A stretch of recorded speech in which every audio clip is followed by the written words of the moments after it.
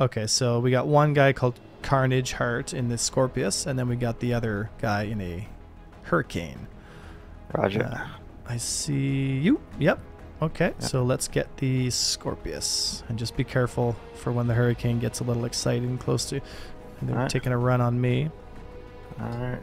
Three clicks. It seems like they're both teeing up on me here, so Okay. I can I can tickle the shields on the Scorpius a little bit here, but Yep, uh, he is. Yeah, he is. Um. Yeah, it looks like they're both on. him. And effective. There we go. Give it, give a pass on him. Yeah, I Very still, I've still got turret aggression. Yep. Oh, Shield he's it switching. He's switching his nose to you. I'm not sure if he's gonna switch guns. Guns. He's about to get his ass clapped. Yeah, I'm still on him as well. Yeah. On his back. Yeah, let's keep the pressure up. There we go. And one more mag should do it. So, Scorpius, unfortunately, unable to get away.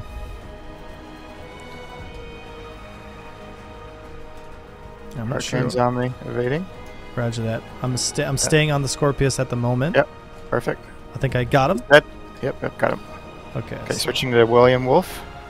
Yeah, roger that. William Wolf, Hurricane.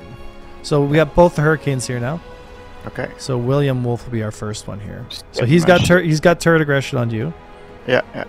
Just loop de looping him. Yeah, I'm coming in on now. He doesn't see he doesn't see me. Still doesn't see me. I'm engaging. Yeah. Oh, he's disengaging. Yeah, he blew past, hitting him. Yeah, just tickle his shield. He's gonna joust through. Get ready. Delta merging. Yeah. Try and get on him here. I've got the turret aggression, so you can Okay. push. Yeah, pushing. Got him. Yeah, just t- tapping his shields down. I still got turret aggression. Okay. We would be honored if you would join us. There we go. Yep, yep. I'm lead turning him. He's slowing down. Yeah. Lead turning. He's got turret aggression on you. Watch out. Yeah, yeah, yeah, I'm, I'm fine. I'm good. Lead turning him again. I'm still closing in on him here. If you just keep him Yeah. keep him busy for a little longer. Here we Yeah. go. Beautiful. Beautiful. Very good. Lined up. And coming in, another gun run. Okay, I've got turret aggression. Okay. Looping in. Two clicks. I'm- I'm down. Defensive. Yep. Got him. Okay. Let's push him now. This should be it. Push him Yeah. hard, hard. Yeah. Got him. Nice. Now let's go for the other hurricane. Burster. Yeah. Yes, SP stir. Let's delta merge him. He's coming 400 towards us, so Yeah, yeah, yeah. six, 600 towards us, 700. He's gonna blow right past. Yep. On him already. Beautiful Delta merge. Yeah, I'm on him as well. Yeah. Okay, I've got turret aggression. Okay, getting behind him. Going defensive. Yeah. Oh, this guy's toast. Yeah, still I'm still defensive. He's still on me hard. Fucking him up. Got him. Nice, good splash. Good splash. And that's how you deal with two hurricanes and a Scorpius.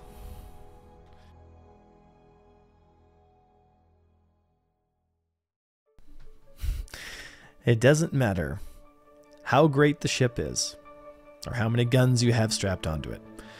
What really matters is teamwork.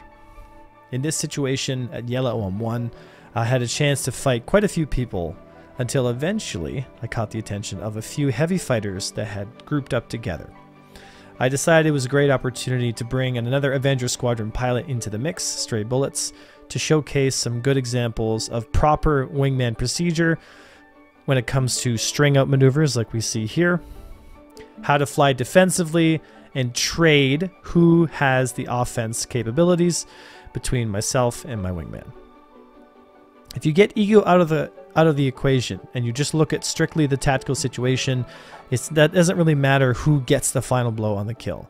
What matters is how the team coordinates together, how you're able to close in on an opponent, how you're able to separate your opponent from his teammates. For example, this Scorpius separated from his other two Hurricane friends, is in a pretty bad spot. Another good example of proper teamwork is when to go defensive in case myself or stray bullets had picked up pressure from the turret. Right now in 317.2, the turrets with the auto gimbal zone can be extremely powerful and can produce a ton of what I call turret pressure. Turret pressure is basically enough firepower to force you into a defensive position.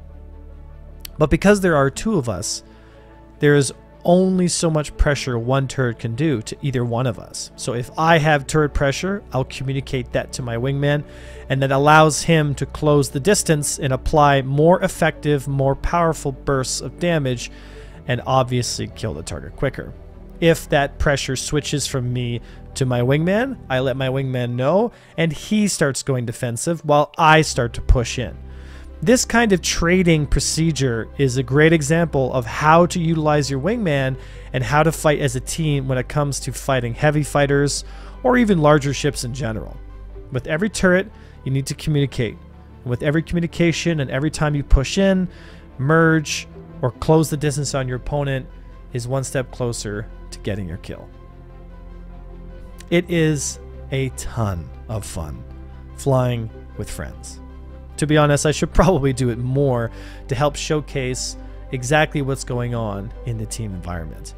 Because whatever happens in the battle space is directly impacting your ability and how well you communicate with your wingman.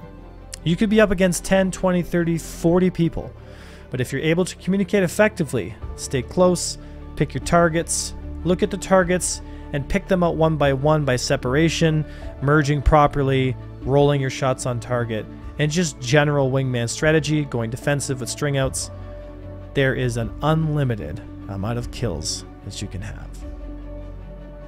Keep that in mind as all of you folks either train with the squadrons you are currently in or are potentially looking for a squadron to join. Consider joining us all here on Discord for everyday training and community building.